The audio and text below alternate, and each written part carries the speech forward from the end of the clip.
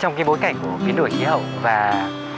à, ô nhiễm không khí, các nỗ lực để mà tăng cái chất lượng cuộc sống của chúng ta là rất là quan trọng. Chính vì vậy UNDP ở Việt Nam cùng với cả Bộ Kế hoạch và Đầu tư thì có đưa ra một cái sáng kiến và một cái công cụ tất cả các tập đoàn các doanh nghiệp có thể tham gia vào một cách tự nguyện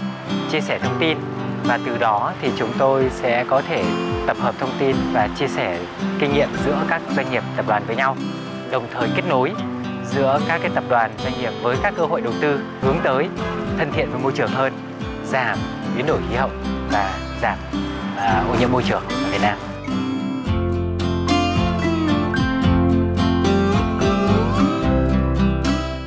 Chúng tôi đang cố gắng thử nghiệm có khoảng 500 chiếc xe đạp điện trong những công viên xanh và chúng tôi đang hướng đến việc tạo ra một không gian xanh.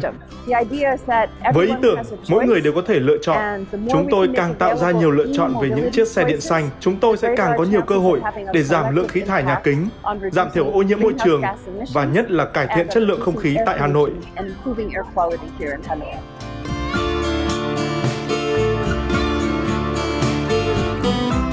Tôi thấy là có cái sự chuyển đổi rất mạnh ở các tập đoàn và doanh nghiệp Việt Nam. Hiện nay chúng tôi cũng đã có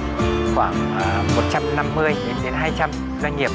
các tập đoàn cũng đã tham gia trong cái bối cảnh của biến đổi khí hậu. Họ sẽ phải cam kết. Ví dụ như có những tập đoàn là cam kết giảm phát thải của họ đến 70% từ nay đến 2030 theo cái khung khổ,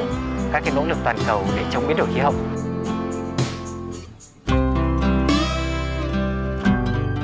Và hy vọng rằng dự án này có thể thấy nhiều hơn nữa những công ty doanh nghiệp xe điện cùng với nhau chúng ta có thể tạo nên một hệ thống giao thông xanh và bền vững.